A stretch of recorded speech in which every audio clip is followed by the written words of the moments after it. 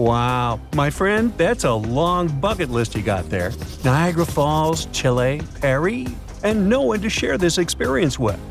Well, I might know how to help you. Look, here are two pills, and you need to. Oh, I see you've already guessed. Yes, choose one of them.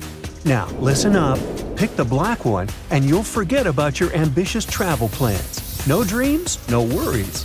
But if you choose the yellow pill, download the Locals app, and a whole new world of possibilities will open in front of you. New friends, new ideas, new traveling companions.